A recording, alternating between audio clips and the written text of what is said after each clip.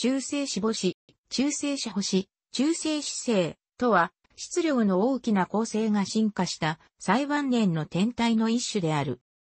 中性子星は、質量が太陽程度、直径程度、大気の厚さはわずか程度で、中性子が主な成分の天体である。密度は太陽の密度の倍以上もあるとされている。およそとその桁外れに大きい密度のため、中性子星の表面重力は地球の表面重力の倍もの大きさがあり、脱出速度はにも達する。中性子星は大質量の構成の超新星、爆発によってその中心核が圧縮された結果、形成されるが、中性子星として存在できる質量には、ドルマン、オッペンハイマー・ボルコフ限界と呼ばれる上限値があり、それを超えると、ブラックホールとなる。上限の質量は、理論的に太陽質量の1.5倍から2.5倍の範囲にあると考えられており、2010年に約1.97倍の中性子星、2013年には約2.01倍の中性子星が確認されている。加減は太陽質量の0.1倍から0.2倍程度。重力崩壊によって非常にコンパクトに圧縮された結果として、核運動量保存の法則によって元の構成よりもはるかに高速に回転しており、典型的な自転周期はから秒である。中性子星に強い時期がある場合、その磁極から電磁波が放出されるが、二つの磁極、地球でいう北磁極と南磁極を結ぶ線が自転軸と一致していない場合、中性子星の時点により電磁波が放出する方向を変えながら放たれるパルサーとなる。中性子星自身は可視光線を発していないため、パルサーとして実在が確認された。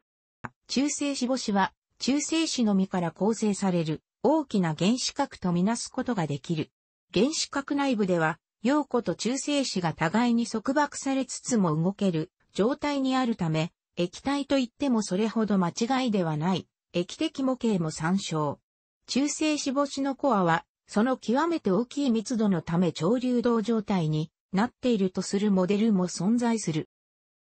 中性子星は、恒星の超新星爆発によって形成される。恒星進化の最終期に中性子星が残るかどうかは、恒星の質量によって決まる。詳しくは、恒星進化論を参照のこと。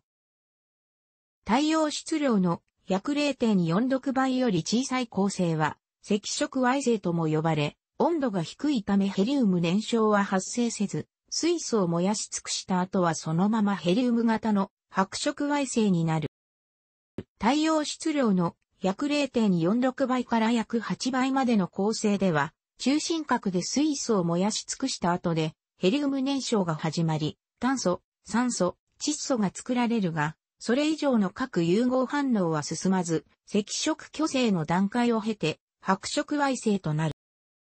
太陽質量の8から10倍の質量を持つ恒星では炭素、酸素からなる中心核でさらに核融合反応が起こり、酸素やネオンマグネシウムからなる核が作られる。この段階の中心核では電子の縮体圧が重力と拮抗するようになり、この中心核の周囲の嗅覚状の部分で炭素の核融合が進むという構造になる。中心核を取り巻く部分で起こる各反応性生物によって次第に中心核の質量が増えていくが、やがて中心核を構成する原子内で陽子が電子捕獲により中性子に変わった方が熱力学的に安定となる及ぶ。これによって中心核は中性子が過剰な原子核で埋め尽くされるようになり、一方で、電子捕獲によって減った電子の縮体圧が弱まるため、重力を支えられなくなって星全体が急激な収縮を始まる。中心核の収縮は、密度が十分大きくなって中性子の縮体圧と重力が拮抗すると急停止する。これより上の層は中心核によって激しく跳ね返されて衝撃波が発生し一気に吹き飛ばされる。この段階を超新星爆発と呼ぶ。爆発の後には、中性子からなる高密度の核が残り、これが中性子星となる。太陽質量の10倍以上の大質量星では、もともと密度が大きくないために、中心核が途中で縮体することなく、次々に元素が各融合反応してはさらに重い元素が作られ、最終的に鉄の中心核が作られる段階まで核反応が進む。鉄原子は原子核の結合エネルギーが最も大きいためにこれ以上の核融合は起こらず、熱源がなくなるために鉄でできた中心核は重力収縮しながら断熱圧縮により温度を上げていく。温度が約度に達すると鉄が光子を吸収し、ヘリウムと中性子に分解する鉄の光分解という吸熱反応が起きて急激に圧力を失う。これによって重力を支えられなくなり、星全体が重力崩壊で潰れて超新星爆発を起こす。爆発の後には爆縮された芯が残る。残った芯の質量が太陽の2から3倍程度なら中性子星として残るが、それ以上ならば重力崩壊が止まることなくブラックホールになる。超新星爆発の前段階でどういった条件ならば、どのくらいの芯の質量が残り、その結果中性子星になるか、あるいはブラックホールになるかといった精密な条件は現在ではあまりはっきりしないが、太陽質量の30倍以上の構成はほぼブラックホールになると考えられている。白色矮星同士からなる連星が衝突合体することによってチャンドラセカール限界を上回り、最終的に中性子星が作られるという過程についても議論されている。さらに最近では、クオークでできた中性子星より密度の高いクオーク星が提案されている。その候補となる星、南の冠座の RXJ1856.5 から3754も発見されたが、後に観測データから諸言が見直され、中性子星として矛盾はなくなっている。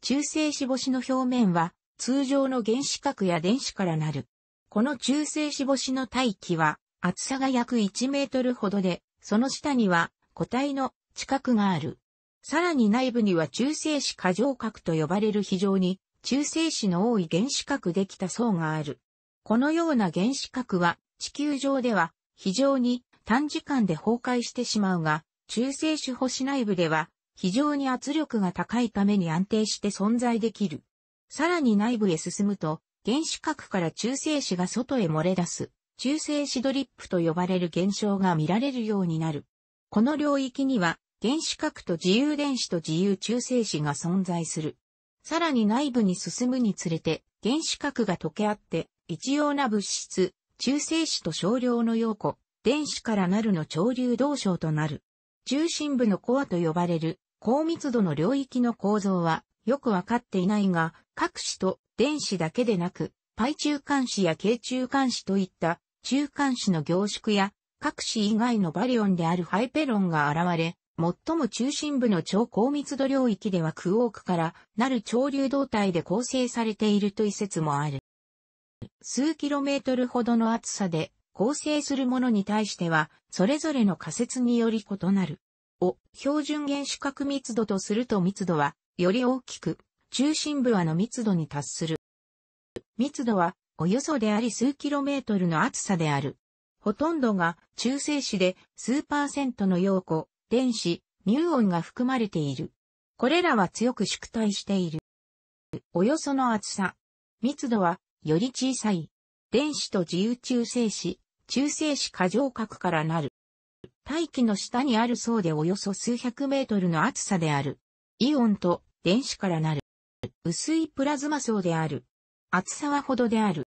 1933年、フリッツ・ツビッキーとウォルター・バーデが中性子星のモデルを初めて提唱した。